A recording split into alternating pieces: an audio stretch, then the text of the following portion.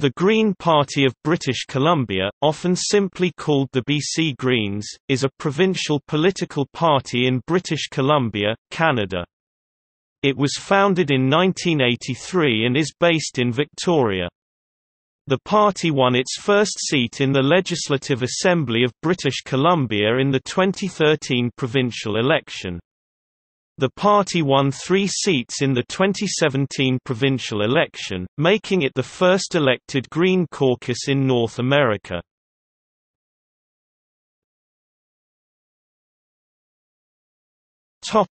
Principles The Green Party of BC promotes the principles of participatory democracy, sustainability, social justice, respect for diversity, ecological wisdom, and nonviolence.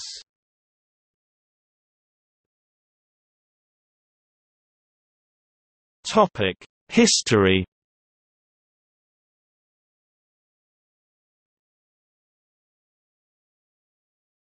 Topic Founding and early years 1983 to 1992.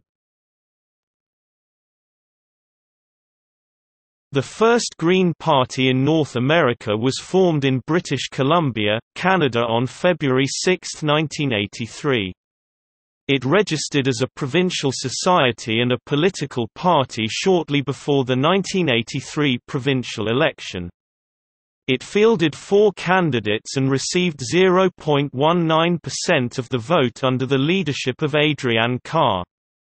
In a federal by-election in the riding of Mission, Port Moody the same year, Betty Nickerson was the Green Party of Canada's first federal candidate, but the party's status was not yet recognized by Elections Canada. She appears in electoral records as an independent candidate. Carr stepped back from active involvement in the party in 1985, and the party abolished the position of leader. Thereafter, it was represented in the media by three spokespersons. In the 1986 provincial election, the party won 0.23% of the vote and fielded nine candidates. In 1988, in response to a proposal to field only female candidates in the following election, Carr and her husband Paul George returned briefly to active involvement to defeat the proposal. From 1988 to 1992, the party was deeply divided between supporters of Carr and Greenpeace founder Jim Bohlen and its ecofeminist caucus. During this period, its internal politics were dominated by a compromise faction led by electoral reform activist Steve Kisby. However, this period of relative stability ended with the party's failure to make a breakthrough in the 1991 provincial election, despite increasing its province-wide vote share to 0.86% and fielding a slate of 42 candidates.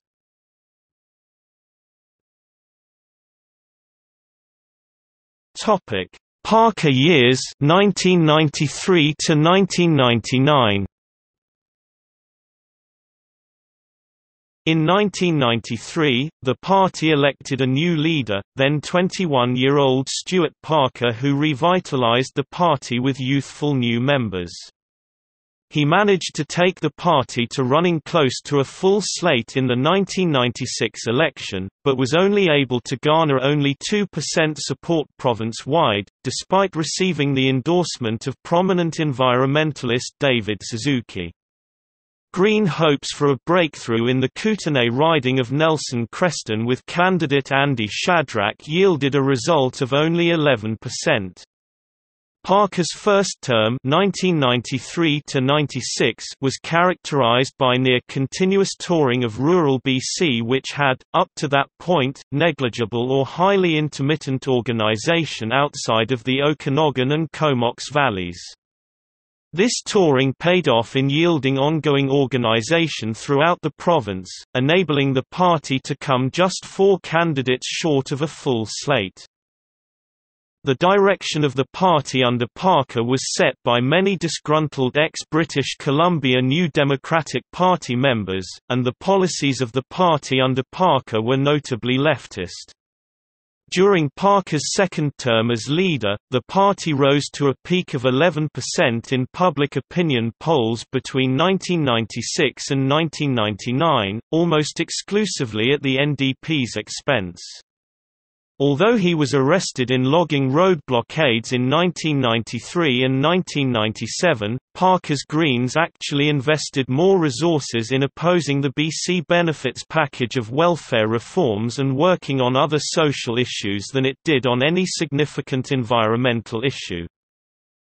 While remaining sharply critical of Glenn Clark's NDP government, Parker spearheaded highly controversial negotiations to form municipal electoral alliances with NDP-affiliated parties in 1998 after vote splitting all but wiped out leftist representation at the local level in Vancouver and Victoria in 1996.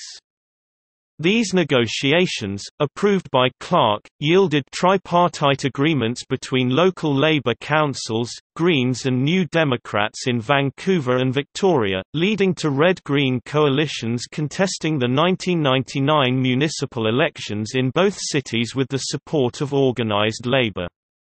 Neither coalition formed government but both made substantial gains, resulting in the election in Victoria, BC, of Art Vanden Berg, the first person in Canadian history to run as a Green and be elected to City Council. In Vancouver, the coalition effort also elected Parks Commissioner Roslyn Cassells.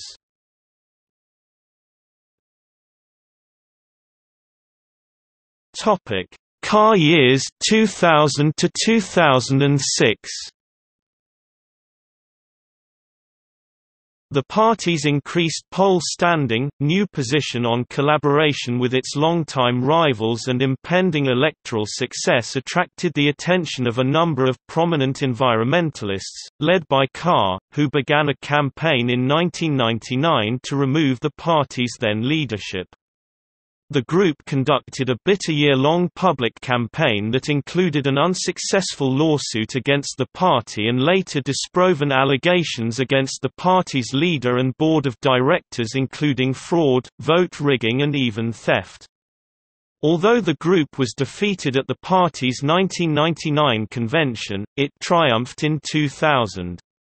Shortly thereafter, the party elected Carr as its new leader. Since 2001, the party leader has ceased to be subject to annual review votes, the process by which Parker was removed.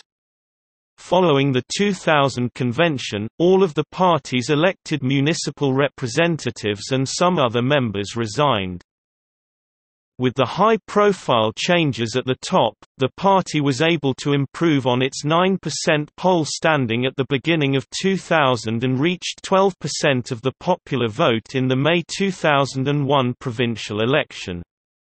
In spite of that significant support, it won no seats in the provincial legislature, a fact which has been cited as an argument against the first-past-the-post voting system used in BC elections. Although she had sponsored a series of resolutions at the party's 2000 convention condemning what many saw as the party's distraction with social and governance policy at the expense of work on environmental issues, electoral reform moved to the top of Carr's agenda as leader. Disagreeing with Fair Voting BC's decision to devote the movement's energies to backing the new BC Liberal government's plan to move forward with the Citizens' Assembly process it had developed in 1997, Carr founded a rival electoral reform organisation called Free Your Vote to utilise the province's citizen initiative legislation which technically allows citizens to force referendums on legislation if they gather a sufficient number of signatures. Despite facing public condemnation from FVBC's Lonan, Free Your Vote recruited hundreds of volunteers for the province-wide effort, building a far larger citizen organization than either ECHO or FVBC. It also gained the support of many leftists, including the official endorsement of the BC nurses and other unions.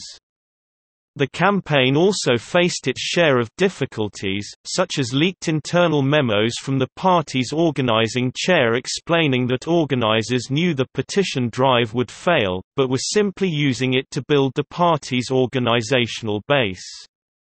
Although the campaign only submitted enough signatures in four of the province's 79 ridings, Free Your Vote was successful in mobilizing new support for reform.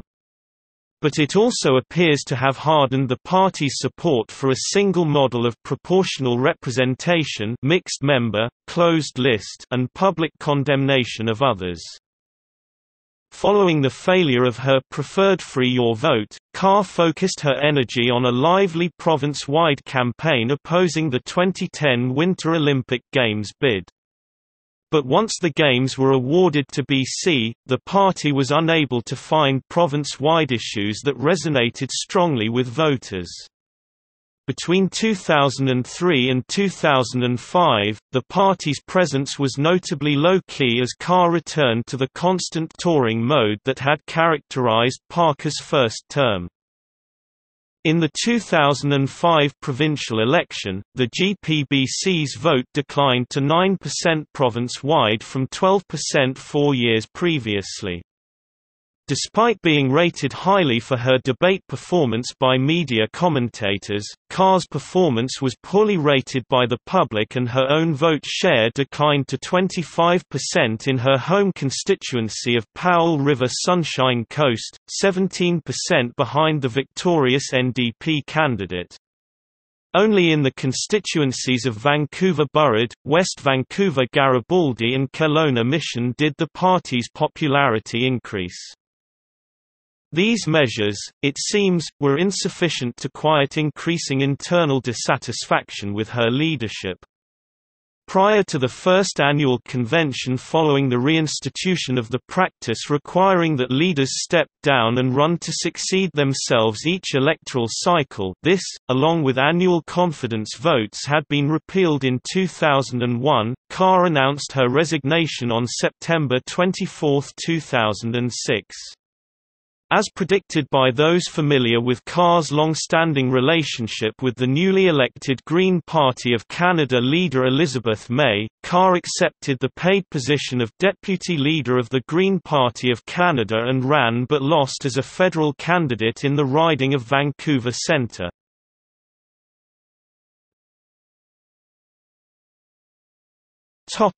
Sterk and Weaver 2007 present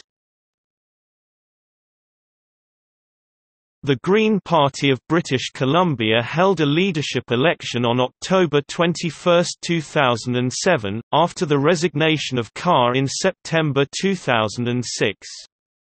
Christopher Bennett was appointed interim leader until the leadership election was held.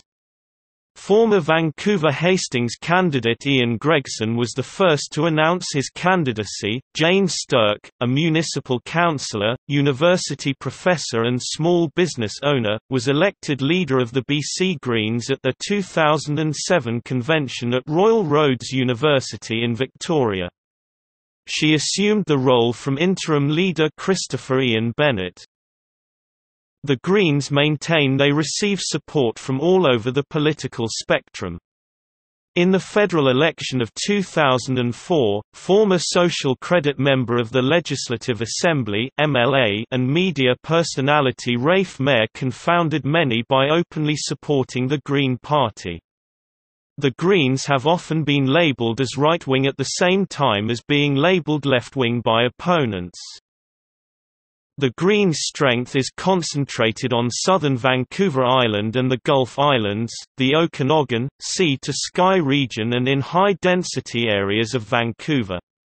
In 1991, the party's strongest showing was 4.4% in Rossland Trail, in 1996, 11% in Nelson Creston, in 2001 and 2005, in Carr's riding of Powell River Sunshine Coast where she received 27% and 25% respectively, and in 2009 in West Vancouver Sea to Sky with 22%. The Greens won their first ever seat with Andrew Weaver winning in Oak Bay Gordon Head in the May 2013 general election. Despite a slight drop in overall popular vote, the party climbed to 11.15% in the 61 ridings where they ran candidates. Weaver won 40% of the vote in his riding, and the party also surpassed 20% of the vote in Esquimalt Royal Roads, Nelson Creston, Saanich North and the Islands, Victoria Beacon Hill, and Victoria Swan Lake. On August 13, 2013, Sterk announced she would retire from politics after the 2013 annual general meeting, held on August 24, 2013. Adam Olsen, former candidate in Saanich North and the Islands served as interim leader until December 9, 2015, when Weaver was acclaimed to the full-time position. On May 9, 2017 in the May 2017 general election Weaver, Adam Olsen and Sonia Furstenau were elected to the provincial legislature, with the party winning 16.84% of the popular vote. The Green Party signed a confidence and supply agreement with the NDP in exchange for policy concessions on environmental and social issues. The NDP and Greens then defeated the incumbent Liberal government by one vote in a no-confidence vote, with the NDP then being invited to form government.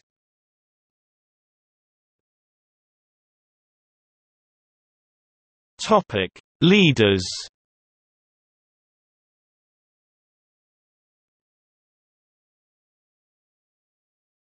Topic: MLAs. As of May 2019, the following Green Party MLAs represent electoral districts in British Columbia. Topic: Election results.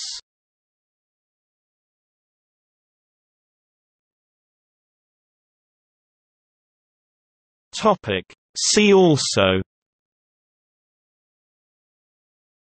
Green Party of Canada List of Green Party leaders in Canada List of political parties in British Columbia List of Green politicians who have held office in Canada Notes